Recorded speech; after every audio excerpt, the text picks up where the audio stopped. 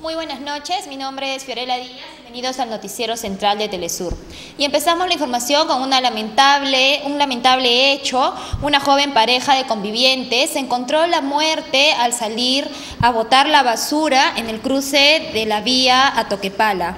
Fueron atropellados por un automóvil Toyota color rojo de placa Z1J-309, cuyo conductor se encontraba en aparente estado de ebriedad. Está muy bien y tiene un impacto también. Mediar las 6 y 15 horas de la mañana cuando Diego Centeno Guanacune de 22 años y su pareja Jocelyn Barrera Amezquita de 21 iban a un costado de la vía asfaltada cargando basura en una carretilla. De pronto se dio el impacto por la parte posterior de ellos. El auto rojo, modelo del 70, subía con dirección al cruce y era conducido por Franco Guamaní Anagua, de 25 años, al parecer a gran velocidad, dejando regados los cuerpos en medio de la pista. Fue tan fuerte el impacto que la parte delantera del vehículo quedó destrozado con rastros de cuerpo humano. Según testigos de la Asociación de Vivienda Vicente Ceballos, el sujeto que conducía la unidad móvil iba acompañado por una mujer que también estaba mareada. Ambos intentaron abordar otro vehículo para escapar, sin embargo fueron impedidos por los vecinos indignados por el hecho. Dice la, la, ley en este momento, doctora? En este caso sería un homicidio culposo, por el cual la pena superaría los cuatro años y se va a, formalizar y hacer requerimiento ante juez. ¿Se habla de la pena máxima, doctora? Sí, este, vamos a estudiar todavía con todos los elementos de convicción que tengamos, con todas las pruebas reunidas y de acuerdo a eso se va a proceder. No me puedo adelantar todavía, tengo que ver los resultados. Muy amable, doctora, muy amable. Muchas gracias, doctora Cristina Tejada, del segundo Un poquito más atrás, señor. todas las cosas para que puedan ver, ¿ya? Un poco más atrás. Ya la doctora también está viendo observando los, los aros que están al interior, que los han guardado. Están nuevas las tapas, son tapas nuevas. Tapas nuevas, ¿no? Son tapas nuevas, está observando algunos aros, algunas herramientas, una botella de cerveza, pero una botella de cerveza, una botella de cerveza. Ahí está, ahí está, Una botella de cerveza, se puede observar. Muéstrala bien, muéstrala bien, muéstrala. No por ser hijo de policía va a ser, y aparte de eso ha chocado a otra unidad ahí abajo. Son, son doble choque. Entonces ese señor no estaba, este, ¿cómo se llama? Bien controlado. Estaba recontra mareado. Señora, ¿usted qué le diría a la fiscal? Yo lo que le pido como madre de mi hijo, yo le pido a la fiscal de justicia. Miren cómo los han, ¿qué ha pasado? Señor, eso no debe quedar impune. Todos pedimos justicia. Miren cómo, miren, miren, señor, cómo, cómo está eso. Esto no va a quedar impune. Acá la señora fiscal como madre tiene que ponerse a pensar porque a cualquiera nos puede pasar esto, a cualquier ser humano. Y a aquel ser humano que oculte pruebas le va a pasar lo mismo. Por eso yo lo que pido que todo se esclarezca y que la señora fiscal actúe de forma imparcial y que sea correcta con lo que va a escribir en el acta y que todo esto esté en el acta. Eso es lo que yo quisiera, que todo esto esté en el acta y que, y que vean cómo ha sido. Si esto va a quedar impune, démonos cuenta que en este mundo todo da vueltas. Señores, los que han visto, los que han visto que sacaron una caja de cerveza del carro, por favor, que tengan que se pongan la mano al pecho y que vengan y que digan cómo han sido las cosas. Porque en este mundo, dense cuenta, todo da vueltas, todo, todo da vueltas, señores. Eso es lo que pido justicia. Muchas señora, el pésame también más de 100 metros y una persona, por más que ebria esté, no hace eso, no, no hace ese tipo, ese es un, es un salvajismo. Arrastrarlo, destrozarlo, a llegar a ese extremo es demasiado. Y ahora en el carro se ha encontrado una caja de cerveza y no está tampoco, pero sí botellas ha quedado, para suerte, evidencia, ¿ya? Entonces yo quiero que se esclarezca, que la autoridad sea pues transparente. Ahora mi hijo está muerto, nadie me va a devolver a mi hijo. Y lo que yo pido ahorita es justicia, nada más. Esto se tiene que aclarecer. Por favor. Muchas gracias, Freddy. Muchas gracias. Nos, sumamos al señor. ¿Usted qué le diría a la fiscal? Yo lo que le pido como madre de mi hijo, yo le pido a la fiscal de justicia. Miren cómo los han, ¿qué ha pasado? Señor, eso no debe quedar impune. Todos pedimos justicia. Miren cómo, miren, miren, señor, cómo, cómo está eso. Esto no va a quedar impune. Acá la señora fiscal como madre tienen que ponerse a pensar porque a cualquiera nos puede pasar esto, a cualquier ser humano. Y aquel ser humano que oculte pruebas le va a pasar lo mismo. Por eso yo lo que pido que todo se esclarezca y que la señora fiscal actúe de forma imparcial y que sea correcta. de Chenchen están trasladando ya a los dos sujetos, a dos personas que estaban pues momentos eh, problemas aquí en el sector de cruce de eh, Chenchen, cruce Toquepala.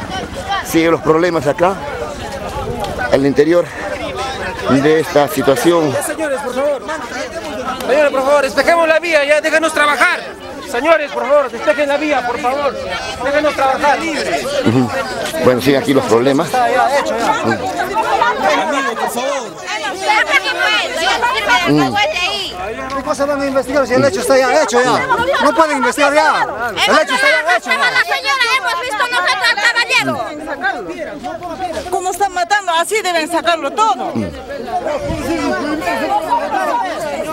No, Mira, mira mira cómo me hecho, mira, mira, mira cómo me hecho, así son los policías, así son, encima todavía tienen el descarado de, de firmarme, encima todavía se lo llevan, mira quiénes son los que han detenido a ese, a, ese chofer, nosotros, se quería llevar, hace, hace un momento se lo quería llevar, ellos ni siquiera se han, se, han presentado en ese momento, ahora, ahora cuando ya, ya chapan vienen y, y ¿saben cómo van a decir de que nosotros hemos hecho?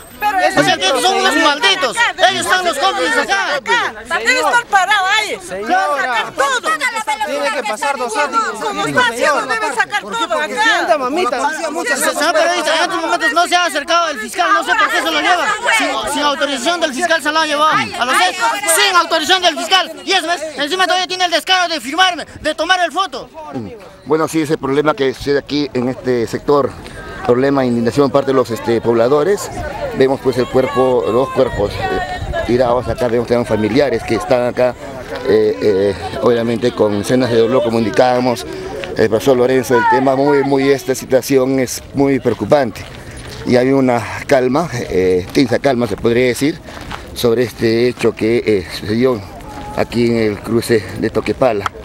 Entonces ahora completamente destrozada la unidad, de, este caso la, la carretilla, y aquí los familiares que obviamente están protegiendo parte del cuerpo de esta persona que fue arrollada por este sujeto conductor que se lo han pasado a retirar pues, por parte de efectivos de la Policía Nacional. Se procede a hacer el...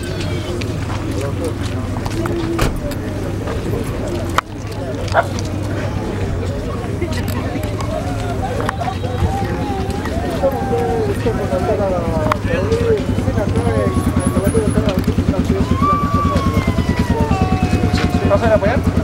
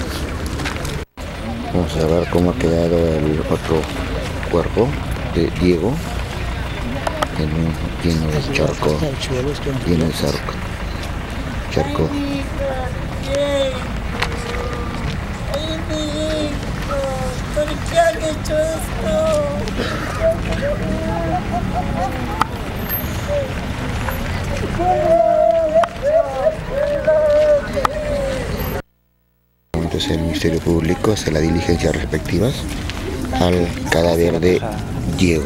La doctora Cristina Tejada del segundo despacho de investigación está ya haciendo las diligencias del caso para el levantamiento del cadáver.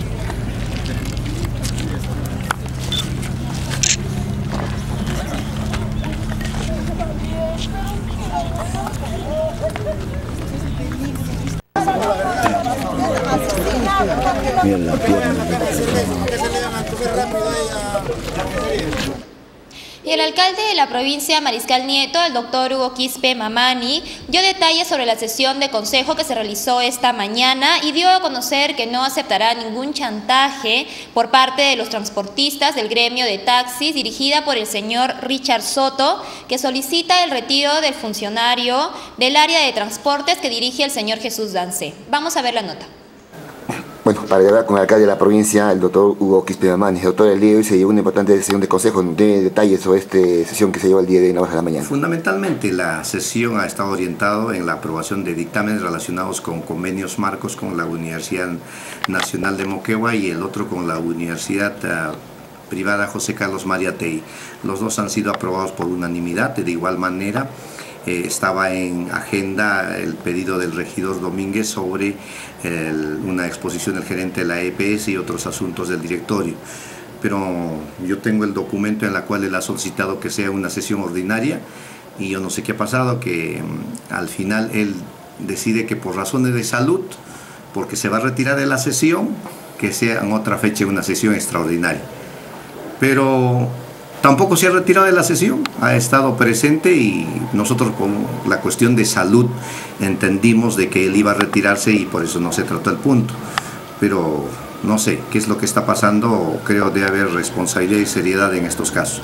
El siguiente punto es referente a una investigación que el señor regidor Justo Quispe lo solicitó una sesión anterior y que esto ya lo tome la control institucional sobre las papeletas. Ha habido algunas observaciones, algunas deficiencias en el proceso de registro de esas papeletas, algunos están por prescribir, estamos hablando desde el año 2011, 12, 13 y 14 hay algunas cuestiones este, complejas que necesariamente tienen que pasar ya a control interno para que se investigue y si es que hay responsabilidades, la sanción correspondiente. Creo que está bien, ellos están cumpliendo su función fiscalizadora, enhorabuena que hagan seguimiento a estos, a estos casos porque haya habido algunos casos raros, como se dice en papeletas. De igual manera también se ha aprobado otros convenios que de alguna u otra manera nos permiten este, establecer algunos, algunas acciones conjuntas, si me permite. También 22 que ha sido de repente con un mayor debate sobre la ampliación de el plazo de reorganización y reestructuración de la municipalidad. Si bien es cierto, el plazo de 90 días se ha cumplido, pero hay aspectos que queremos considerar dentro de este proceso de reestructuración y implementarla algunos proyectos que tenemos este, eh, en la municipalidad. Fundamentalmente hay cuatro. Uno, el sistema de licencias. Hay tres, hay tres. Uno que ya está en proceso. El sistema de licencia de funcionamiento en línea, que queremos trabajarla. El otro es el sistema de trámite documentario para que la municipalidad debe contar con certificados digitales mediante convenio. Vamos a solicitar el RENIEC, ya hemos firmado el convenio. Ah, plataforma de interoperatividad del Estado, eh, queremos trabajarla. Y fundamentalmente yo ya adelanté una gestión en la presidencia del Consejo de Ministros de eh, impulsar la Oficina Nacional de Gobierno Electrónico e Informático. Eso es importantísimo en la municipalidad y nos evitamos tantos problemas, especialmente de lo que es compras, de servicios, de convocatorias, de licitaciones. Con esto ya no hay ese contacto directo entre el proveedor y los de logística. Ese es un problema que se viene arrastrando de gestiones anteriores y queremos nosotros mejorarlo para que se actúe con toda la transparencia del caso. Esto requiere un tiempo, hay convenios que queremos hacer con la Corporación Andina de Fomento en lo que es gobernabilidad y gestión municipal. Es posible que ellos estén presentes ya, hay un compromiso de apoyar a la municipalidad. Eh, estaba establecido una fecha, si no me equivoco, el 14 y el 15 de, julio. ¿No? El representante de la Corporación Andina de Fomento pueda estar en Moquegua. El, perdón, aquí está la fecha, es el 13 y 14 de julio para hacer una exposición y qué forma ellos podrían apoyarnos en mejorar la administración municipal. Señor alcalde, también ha habido ciertos cuestionamientos por los últimos viajes que se han desarrollado tanto a la capital de la República como a la ciudad del Cusco.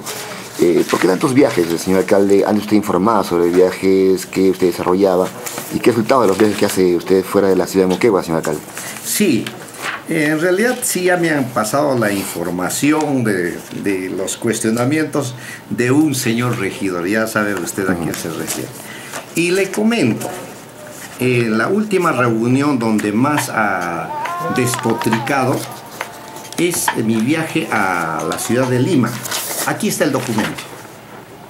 Es un documento es oficio 317, en la cual dice, tengo el agrado de dirigirme a usted con el propósito de saludarle cordialmente e invitarlo a participar en la primera reunión de coordinación y capacitación a la que se ha convocado a todos los alcaldes de las municipalidades distritales provinciales con las que la Superintendencia Nacional de Bienes Estatales ha suscrito el convenio de cooperación para la protección y cautela de los terrenos de propiedad estatal. Es decir, nosotros hemos firmado un convenio con la Superintendencia de Bienes Estatales y este convenio ha sido aprobado por el regidor Domínguez. Y ahora cuestiona que por qué viajo a esta reunión. Por fin, él aprueba un convenio de cooperación en sesión de consejo y ahora dice, ¿por qué viajo a esta? ¿Por qué tanto protagonista, protagonista del señor Richard Domínguez? No lo entiendo. ¿Qué es lo que quiere decir? Acá está el documento, no lo estoy, es, tome usted nota. Y si es que a mí me invitan, yo he aprovechado de esta reunión para ver un asunto que han venido todos estos días, especialmente aquellos posicionarios de terrenos que están en bienes estatales.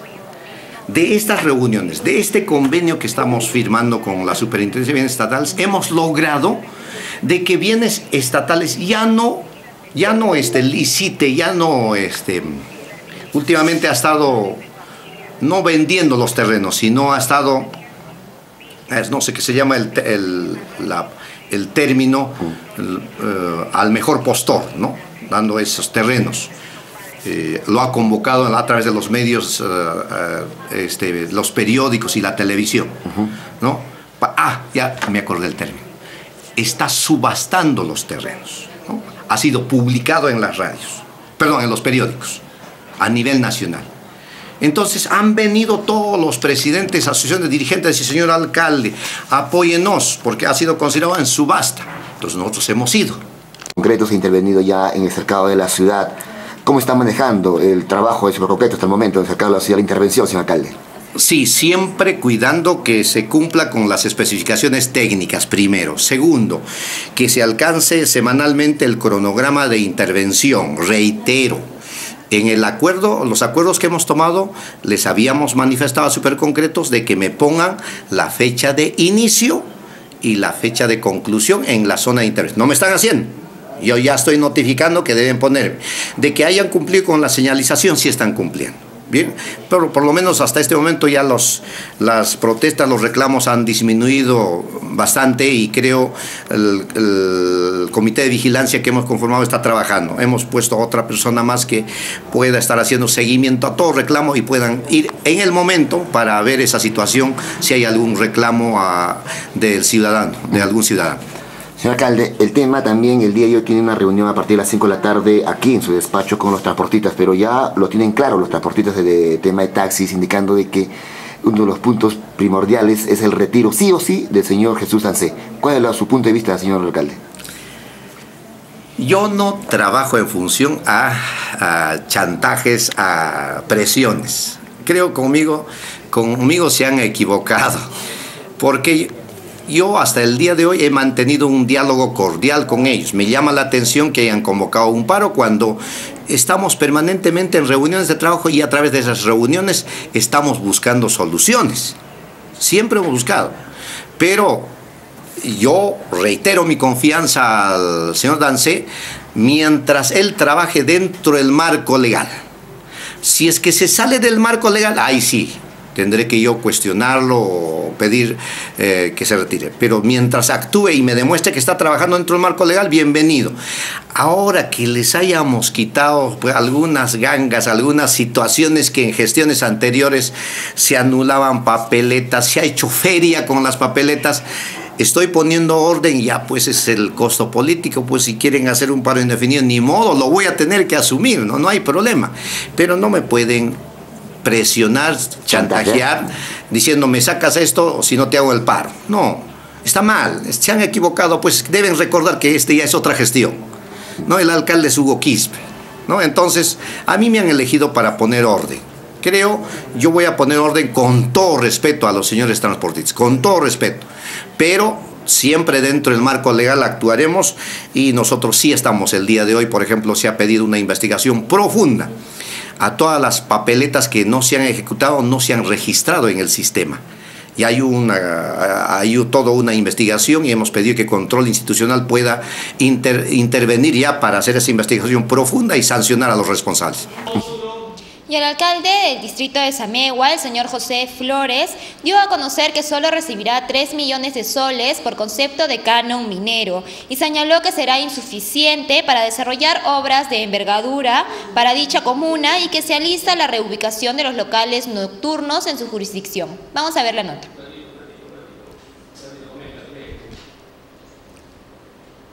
No hay nada. No tengo. Y bueno, estamos en eso, esperando el turno que, que nos toque para firmar ese convenio. Señor alcalde, eh, en la última reunión que usted indicaba también vio el tema de, de, generar más empleo y más trabajo, más obras. ¿Cómo andamos el tema de proyectos? Bueno, sí, eh, tenemos, eh, bueno, empecemos. No sabemos todavía cuándo ni cuánto se va a recibir el canon minero. Eso es lo que va a indicar exactamente qué obras se van a hacer y qué cantidad de obras. No sabemos cómo la cantidad, pero esto oficialmente se habla de 3 millones, 3 millones y medio por ahí, que es muy poco definitivamente. Pero algo vamos a hacer. Estamos proyectando, o sea, tenemos ya dos proyectos en ese sentido. Todos son de asfaltado, veredas, en el comité de Miraflores, comité 9, y de ser posible también el comité 12. ¿no? También tenemos arrillos para completar una obra que ha quedado inconclusa también de asfalto y veredas, porque todos tienen por supuesto agua y desagüe. Eh, bueno, todo, como digo, depende de la cantidad de plata que llegue, pero eso está ya en, carpeta para, en el caso de llegar a la cantidad suficiente, empezar a trabajar en Señor alcalde, ¿se ha priorizado de repente el tema de la nueva construcción de una planta de tratamiento en San Miguel, señor alcalde? Sí, justamente, ya hace un par de meses que pienso que ustedes también tienen conocimiento de eso, se firmó un convenio con la región eh, por 41 millones de soles en principio, donde eh, en el compromiso está eh, que la región termina de, elaborar el ambiente técnico una captación arriba del, molino, o sea, ya sea Pocata más o menos, de una altura que va a permitir dar agua a todos, a Megua, eh, los anexos del molino, el común, Buenavista, Púlpito, y dejando el agua, por supuesto, en la parte alta de Samegua ya, lo que las, las nuevas asociaciones, y y construir también está en el convenio una planta potabilizadora de agua a la altura del, molino, se supone. Esos son estudios técnicos, pero así está el convenio, ¿no? Es una planta de, para potabilizar el agua, porque en este momento tenemos agua tratada, si es cierto, en un 80%, no es agua potable, pero tratada en sí. Ahora no, la idea es esa, es una obra que si se realiza se va a terminar por el año 2017. Ese es el planteo que tenemos y ojalá, ojalá pues que la región también este, nos cumpla con, este compromiso. Señor alcalde, el tema también de la preocupación de la población es el tema de estos locales nocturnos que están ubicados en su jurisdicción. ¿Qué se va a hacer? ¿Se van a reubicar? ¿Hay bueno. unas reuniones con estos este, dueños de estos locales? Mire, eh, con ellos este, hay ya acuerdos anteriores donde se les iba a reubicar ese acuerdo, digo, con, la, con el Consejo Provincial y con la región, porque también sería, si no se hace dentro, de la, dentro del marco legal, sería una coartación a la libertad de trabajo, definitivamente, porque eso está permitido también por la Constitución, en fin, bueno, pero eh, la reubicación era la que se tenía en cuenta, pero dado el, negocio que tiene, hay que no solamente habilitar un terreno, sino darle agua, desagüe, luz, hacia todas las necesidades eh, por el, digamos, por los usuarios, por la gente que asiste ahí, pues no, tiene que tener todos los servicios necesarios básicos, fundamentales. Y yo pienso que por ahí está el, digamos, este, la piedra que, impide un poquito el, pero yo, eh, por lo menos hasta donde yo sé, eh, la gente que está trabajando ahí, este, ellos están aptos a su reubicación. ¿En dónde estaría ubicado este, este local, ese señor alcalde? Bueno, sería ya en la parte alta de, de Samegua o de Moquegua, ¿no? En la parte alta, digo porque son los únicos terrenos disponibles que hay en este momento. ¿Están pagando sus tributos estos locales este, nocturnos, señor Sí, sí, sí, pagan, pero relativamente poco, ¿no? Pero pues, dentro de la ley, por supuesto, pero son relativamente poco. Vamos a la primera pausa comercial y regresamos con más información. Aquí en el Portista tuvieron una reunión con el alcalde de la provincia Mariscal Nieto, el doctor Hugo Quispe. Dicha reunión se llevó a cabo a las 5 de la tarde con la presencia del alcalde, la presencia de la gerenta municipal, la arquitecta Gina Valdivia, y del subgerente de transportes, el señor Jesús Dancé. En primer inicio intervino el subgerente de transportes contestando el memorial que se entregó al alcalde. Vamos a ver la nota. la aplicación de la ley. Señores, esta empresa trabajando. Así de simple. Así de simple. Sin embargo, para no hacer daño, a todos los socios que vienen trabajando en esa empresa, o los afiliados, porque no son socios, se les está consintiendo todavía el servicio y el señor está todos los días y aparece un trabajador más de nuestra oficina tratando de solucionar su problema. ¿Por qué? Porque no queremos dejar sin trabajo a todas esas personas que viven de ello. Y el Señor, muy consciente de su falta, no firma el memorial, pero ustedes lo ponen y lo hacen suyo, como si fuera un pecado. Y eso no se dice, señores. Hay que hablar. Eso es en el punto de tres. Interpreta el decreto supremo 017 que establece 15 años de antigüedad. Cualquier persona con sentido común va a leer la resolución ministerial 593 y va a leer los considerandos que dice que esta resolución es a pedido de las direcciones regionales de transportes comunicaciones de todas las que mencionan en ese, documento. ¿Alguien les dijo de eso? Alguien les dijo, yo se los digo. Lean bien la resolución ministerial. Porque toda resolución, lo sabe cualquier abogado, tiene que ser debidamente motivada. Y la motivación de una resolución está en sus considerandos. Y si ustedes leen los considerandos de esa resolución, dice bien claro por qué se da esa resolución a solicitud de las direcciones regionales que pusieron su parque automotor que databa de tantos años y en razón de eso y en función de eso salen los plazos que da el Ministerio de Transportes, no es para el servicio provincial. Sin embargo, como la municipalidad provincial de ese entonces no hizo llegar su cronograma, nosotros lo estamos dando por admitido y lo estamos adecuando, señores. Una cosa es adecuación, una cosa es dar facilidad y otra cosa es pedir impunidad. Entonces, está claro lo que establece la resolución ministerial, está claro lo que establece el decreto supremo 017, que se dice que damos una interpretación errónea.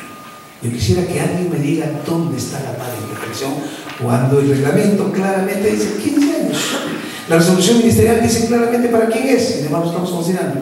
La ordenanza municipal 019, señores, en sus disposiciones, bien claro dice que las sustituciones deben ser hasta con seis años. Dice sexta disposición final de la historia del reglamento para la provincia de Mariscaliente, seis años para sustitución. ¿Y qué estamos haciendo nosotros? Estamos considerando que siempre y cuando el vehículo sea más moderno que el que sale, que entre al servicio. Eso no es facilidad se dice mala interpretación. ¿Qué más se dice? Desconocimiento total del decreto supremo 019. Señores, si nosotros aplicáramos el 019 en, su, en toda su amplitud,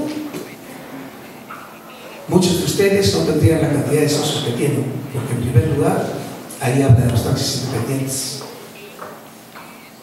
Y que los taxis independientes, por una aberración de la ordenanza, como yo lo he hecho llegar, señor alcalde, un taxi independiente, ¿cómo va a ser con cinco socios? Debería ser taxi independiente, como su nombre lo indica, independiente, con un solo vehículo. Sin embargo, esa ordenanza, para mí, mal dada o un error de digitación, que sé yo, dice cinco socios. Pero sin embargo, ahí estamos. ¿Qué dice esta sexta disposición? Sí, seis años para sustitución. Revísenlo. ¿Qué dice? Seis años para hacer la sustitución. Nosotros vamos a hacer esto, ¿no? Le estamos aceptando con tal que sea más moderno el vehículo que salga. ¿Qué más habla ahí? Habla de los 15 años, el decreto supremo de 19. Sin embargo, le estamos dando, repito, los 20 años. Y finalmente, la resolución de alcaldía 161-2013, que volvemos a repetir, también nuevamente habla de los 15 años. O sea, si nosotros tuviéramos que regirnos por las últimas disposiciones, esta resolución de alcaldía 161 dice, los vehículos para el servicio serán de 15 años. Señores, no hay ningún carro que hayamos obligado, repito, ¿ah? obligado, que hayan venido alguna persona con su inspección técnica por facilitarse y por tenerla porque la policía estuvo exigiendo, es otro tema. Pero que me demuestre alguien, de que alguien, que hay una notificación y le hayamos dicho la sugerencia, el carro tiene que pasar revisión técnica, por favor. Eso es totalmente falso. Por eso pido las pruebas del caso. En cuanto al repesaje de vehículos que se encontraban autorizados, señores, los reglamentos antes denunciados, cada una de la base legal, habla claramente, el decreto supremo 058 dispone que debe ser mil kilos de peso seco. En su descargo, en su memorial, ustedes dicen que no, que los vehículos, eso fue para los vehículos antes de la norma. Les voy a leer lo que dice acá, textualmente se encuentran exonerados del requisito establecido en el numeral 4, peso mínimo de 1000 kilos y cilindrada 1450, los vehículos que dentro de 120 días calendarios posteriores a la fecha de publicación del presente reglamento se encuentren inscritos ante la autoridad competente correspondiente. Está hablando del año 2003. Los escucho todos los días por radio. El maltrato, son testigos muchos transportistas como se comportan algunos gerentes cuando no se les da lo que quieren, otros sí son muy educados también. Entonces no podemos, yo sí más bien hago una selección, yo no generalizo. Yo sé quiénes se portan bien y quiénes se portan mal, pero ustedes sí generalizan en todos sentidos. Entonces, no hay prueba, repito, de maltrato, y más bien yo debo decir lo contrario, que quienes recibimos la mala atención o el maltrato somos nosotros de parte de algunos transportistas. Prueba de ello están los adjetivos calificativos que de manera muy ligera señalan el presente memorial, entre otros que íbamos también vertían durante su manifestación, mancillando alegremente el honor de las autoridades y de las personas que trabajan en el área Entonces, a observaciones, eh, apreciaciones que puedan tener los señores transportistas sobre los puntos que ha hecho el descargo correspondiente de su gerente. Voy a tomar una relación eh, de la participación. ¿Su nombre? Mariano. Mariano. Empresa Jovita Otra participación, por favor. Su nombre, por favor. Timoteo Soto Sosa. Asociación Taxi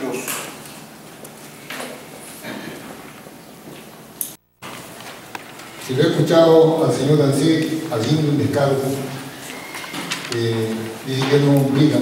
Lógicamente, él no obliga. Para pruebas de cuatro expedientes, que la señorita Marina, Marina, Marina, que es la secretaria, ella es la que obliga, si no, no nos da el pase de, los expedientes. No es que uno diga, le dé la gana de que no quiere sacar. Acá le demuestro dos expedientes por ejemplo, que son de 2014-2015, donde nos obligan a pasar las revisiones técnicas. Sin eso no nos dan la tarjeta y no nos dan el trámite. Le hemos escuchado al señor Dancé humanamente decirle que si nos dan facilidades, señor Dancé, usted tiene las facilidades, no de noche a la mañana, que usted nos dice los carros de eh, no llega al peso, yo estoy de acuerdo. Estamos de acuerdo con la norma de ley de que haya salido, pero la ley no es retroactiva. Al menos usted, señor nos ha debido notificar con un escrito dándoles, no, diciéndonos de que los vehículos de cámara, señor, se los notifica con la finalidad de se da paso siquiera hasta diciembre para nosotros. ¿Quién la persona, qué empresa es que usted va a para que le den permiso? Porque nosotros, yo de mi persona, nunca se ha tratado de nada, no puedo buscar a nadie, entonces usted por la radio olímpicamente ha dicho, los transportistas vienen a coimear acá. No, y eso no es dado, el señor Ancel. Entonces nosotros, ¿qué, qué nos diga? Nosotros no queremos hacer lo que nos da la gana. Nosotros queremos trabajar de acuerdo a las normas, como me dicen las normas, que los después de haber que salga apuntado, estamos cumpliendo con los mil kilos. No estamos pidiendo de que de nada que ingresen primero kilaje, señor Ancel. Muchas gracias. Gracias. Para darle una aclaración sobre eso, se refiere a lo que estoy hablando es el empezar de, vehículos. Ya. Si es que en APU ya se lo Ya, lo que yo quiero, yo, yo, tengo un periodo de vigencia en mi asociación que caduca el próximo año, ¿no? Entonces también va a caducar este, el tiempo de, tránsito del vehículo. Entonces, ahí ya mi vehículo va a salir de circulación. Pero considero que los vehículos que recién están ingresando, sí debe ser su requisito, peso de mil kilos Alcalde, señores funcionarios y compañeros todos. Bueno, hemos empezado la reunión, pero parece que estamos mal. Yo creo que debemos empezar punto por punto, como dice el memorial, como usted lo dijo. Y me hubiera gustado, no sé si ha sido un acta. Señor alcalde, nosotros lo que hemos hecho ha sido una una marcha preventiva. No ha sido un paro así tan grande. Simplemente, ¿por qué? Cansados de tantos documentos que mandamos al municipio, tanto memorial. Memorial, memorial, memorial, memorial, memorial, memorial. No hay soluciones. Usted dice por los medios de que nos ha abierto las puertas, hemos conversado, cierto, en enero nos hemos conversado como tres horas en su despacho, antes que era su gerente de transporte. Y se le recalcó, se le dijo, usted dijo que el ANSES iba a venir a la sugerencia, y le dijo bien claro, le dijeron muchos dirigentes, señor alcalde, el señor Acer no es persona de trato, es cerrada en todo, no da soluciones, no conversa. Y el director de la UGEL, Mariscal Nieto, Félix Manchego, anunció que por motivos de celebrarse próximamente el Día del Maestro, tienen organizados una serie de actividades que se darán inicio el día sábado, ya que el día viernes se tiene programado por parte de las instituciones una, un agasajo a los maestros y el objetivo es que las actividades no se crucen. Vamos a ver la nota por esta oportunidad y esta forma de comunicarnos con la población. Estamos justamente el día de hoy cumpliendo algunas acciones, algunas actividades del programa ya que se viene esbozando por el Día del Maestro. Sabemos que el día viernes las instituciones educativas hacen un reconocimiento a todos y cada uno de los maestros. No queríamos cruzarnos con actividades, por eso es de que eh, hemos dejado que el día viernes pueda hacerse estas ceremonias en las instituciones. El día sábado eh, tenemos una programación muy temprano a las 7, una misa para eh, dar gracias siempre a Dios por darnos la oportunidad y por permitirnos estar en este sector tan importante como es educación. Luego de allí estaremos haciendo una romería para acordarnos de los maestros que se encuentran y que han caído ya en esta situación en el cementerio. Y a las 10 de la mañana tenemos programado el reconocimiento a los docentes que cumplen 25 y 30 años de servicio. Luego de allí al mediodía se está coordinando con la Dirección Regional de Educación y el gobierno regional que para que se pueda ofrecer el almuerzo de confraternidad a todo el magisterio de la Mariscal ¿Con cuántas eh, presencia va a ser este día la invitación que se va a hacer? ¿Cuántos maestros van a ser reconocidos también? Eh, un, promedio de 130 maestros están siendo reconocidos que cumplen 25 y 30 años de servicio al 6 de, de julio del presente año todos ellos eh, en la ceremonia ya se están cursando los oficios personales de invitación para que puedan estar participando y la invitación también a todo el magisterio en su conjunto para que pueda estar acompañándonos este día. ¿Alguna noticia adicional buena para los maestros de repente eh, este día que se vaya a hacer? ¿Puede dar de repente un adelanto? Bueno, lo que estamos eh, gestionando es de que los docentes que han cumplido años desde julio del 2014 a diciembre eh, puedan estar recibiendo en su remuneración del mes de julio esta gratificación. A los que cumplen de enero a julio de este año, estamos en un proceso de coordinación con el Ministerio de Educación y Economía y Finanzas y que en el transcurso de los meses subsiguientes podamos estar cumpliendo también con este incentivo, esta gratificación que por ley le corresponde a cada uno de los maestros. Director, ¿cómo vamos con las deudas pendientes de la parte educación? Precisamente esos maestros de la 037 que se les está adeudando. Efectivamente, nosotros hemos tenido varias reuniones de trabajo, hemos remitido ya a la Dirección Regional de Educación el consolidado de los maestros que tienen sentencias judiciales con requerimiento y a aquellas eh, deudas sociales que todavía están en proceso, que tienen las sentencias de vista, pero que no tienen las sentencias de requerimiento, estamos publicando una relación de maestros para que puedan continuar y terminar su trámite y podamos estar también incluyéndolos, de tal manera que no se quede nadie sin que pueda incluirse en esta deuda. Usted sabe que este es un trámite que lo hacemos para que pueda incluirse en el presupuesto 2016, en donde estamos en plena etapa de formulación del mismo y ojalá podamos conseguir Caritas del Perú, la sede ejecutiva de Moquegua, realizó el día de hoy una conferencia para la presentación del proyecto Promoción de la Educación Emprendedora, Financiera y Provisional de los Estudiantes de Secundaria del Distrito de Torata, a cargo de Caritas del Perú y financiado por Scotiabank. Vamos a ver la nota. Promoción de la educación emprendedora, financiera y tradicional de los estudiantes secundarios del Distrito de Torata que lo preside Caritas Tacmoquegua. Invitamos en primera instancia al director de la UGEL Mariscalita, el profesor Félix Manchego Maita, para que nos acompañe en la mesa de honor, al profesor Alfredo Amaru Condori, director de la institución educativa José Carlos Mariategui, al profesor Pedro Mamaño Ramos, director de la institución educativa Vidal Herrera Díaz, a la ingeniera Erika Paola Linares, socializar y difundir el inicio del proceso de implementación del proyecto de educación emprendedora, financiera y profesional de los estudiantes secundarios del distrito de Torata en autoridades locales y medios de comunicación.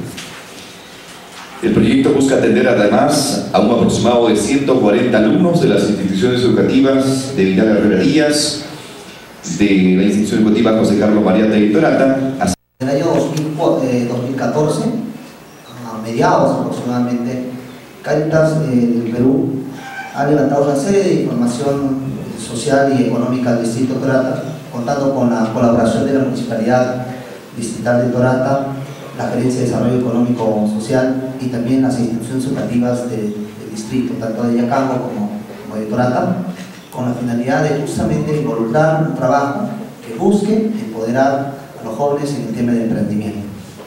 Este proyecto nace justamente como iniciativa también de la responsabilidad social que tiene eh, la empresa Escocia Bank, con la finalidad de justamente intervenir y buscar que los jóvenes pues tengan eh, y desarrollen capacidades de emprendimiento. El proyecto es un proyecto que tiene una temporalidad de 11 meses de intervención, que busca atender aproximadamente 140 alumnos y la totalidad de docentes del nivel secundario estamos hablando de 24 docentes a los cuales se va a trabajar en, desarrollar capacidades de emprendimiento en educación financiera y en educación previsional. el periodo de intervención está dividido en dos etapas. La primera etapa que conlleva esta etapa inicial desde el mes de, junio, julio prácticamente hasta finales de este año y la siguiente con todos los docentes un proyecto de plan de vida. Empezar a interpelarlos por qué los jóvenes pueden optar por otras eh, acciones ocupacionales, ofertas ocupacionales y tener como proyecto de vida qué es lo que quieren ser no solamente tener una carrera universitaria, o en todo caso también aprovechar las potencialidades que tiene el Distrito Torata en su vocación productiva, agropecuaria, para poder ofertar esto como alternativa. Otra de las actividades en las que vamos a intervenir como proyecto tiene que ver con eh, jornadas de diálogos empresariales, donde se buscará que los jóvenes conozcan experiencias de empresarios exitosos, eh, no solamente de Torata, sino también de Moquegua y también de otras regiones, que busquen socializar, intercambiar esta experiencia de cómo han hecho empresa, cómo han crecido a nivel regional y cuál ha sido la experiencia de vida que han tenido, que nos parece muy importante que esto se pueda trabajar. También otra de las actividades de este resultado tiene que ver con la experiencia en pasantías empresariales, donde eh, se estará trabajando con alumnos de quinto grado, cuarto en su momento, donde los alumnos puedan conocer las experiencias in situ, hacer visitas a empresas, conocer gestión de procesos, conocer cómo se hacen los costos de cualquier tipo de elaboración de algún producto y otro, así como también una de las actividades finales que se prevé en este proyecto tiene que ver también con el taller de generación de idea de negocio. Este taller de generación de idea de negocio, que es una metodología validada por la Organización Internacional de Trabajo, busca trabajar también con los docentes para que los docentes conozcan la metodología, puedan transferir estas capacidades a los alumnos y los alumnos también puedan terminar de manera individual o asociativa. Nosotros las expectativas que tenemos son muy grandes y esperamos cubrir toda, toda la necesidad que, que, que, que tenemos planteada, poder eh, desarrollar una educación emprendedora de tal forma, este, muchachos, veo que están presentes, espero que lo aprovechen, porque el objetivo no es solamente desarrollar ese tipo de proyectos aquí en Moquegua, o en Torata, sino salir a, otros, a otras provincias. Queremos que este proyecto crezca, se desarrolle en otras provincias.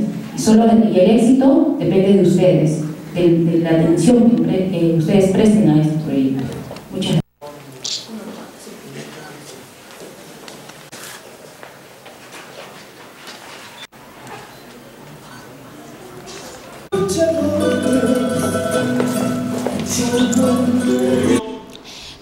Vázquez Higinio, gerente municipal de Torata, informó que se ejecutarán una serie de proyectos de inversión pública y fichas de mantenimiento con un presupuesto aproximado de 1.900.000 nuevos soles.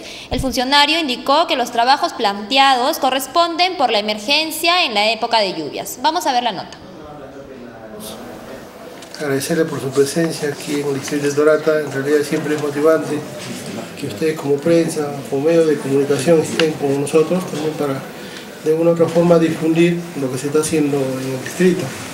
Bueno, con respecto a su pregunta, eh, efectivamente tenemos, pero no solamente son la, la, ficha de que ha sido aprobado por emergencia en Lima, sino también este, como gobierno local nosotros hemos realizado más de 35 fichas de, por emergencia de mantenimiento en todos los sectores de, de Torata. Eh, ustedes seguramente han escuchado las últimas seis fichas, son fichas por un más o menos 1.900.000 que han sido, es el aporte del gobierno nacional a través de defensa civil que corresponden a, seis fichas que serán ejecutadas a partir del día de mañana.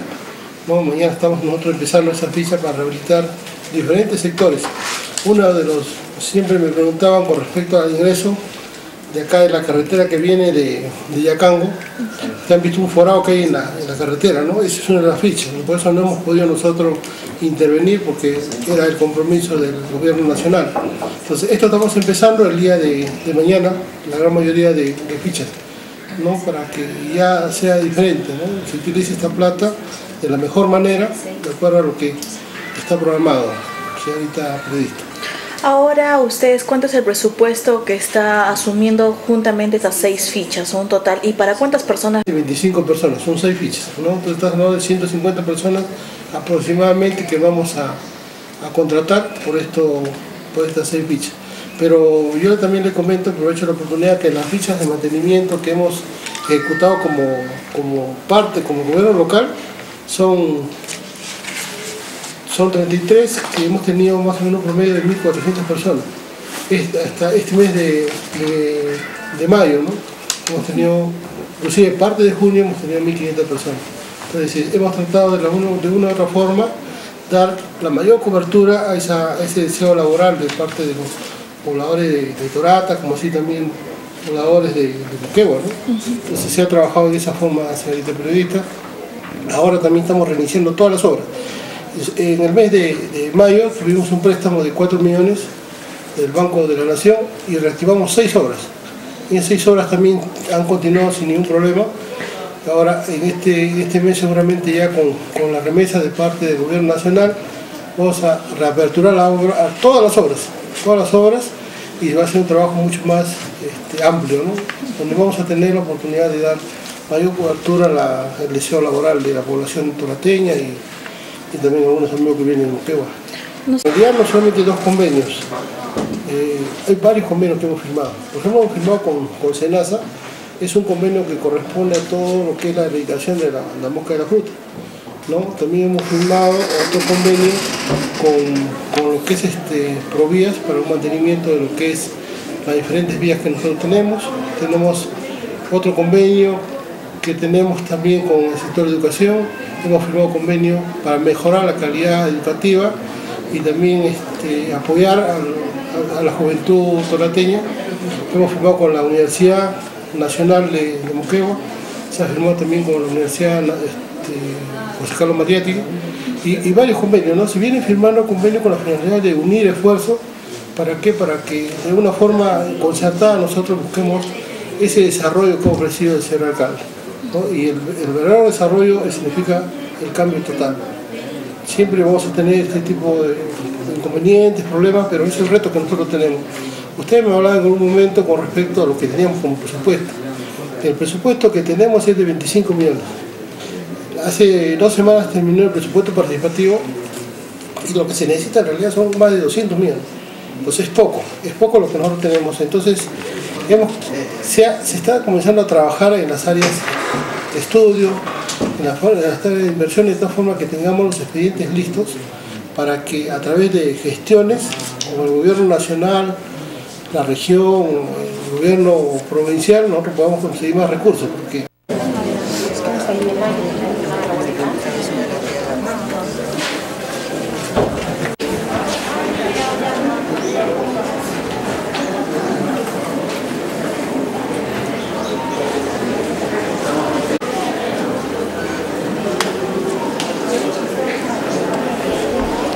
llegado a la parte final, eso ha sido todo por hoy. Los dejo con agenda regional y conmigo será hasta el día de mañana. Buenas noches.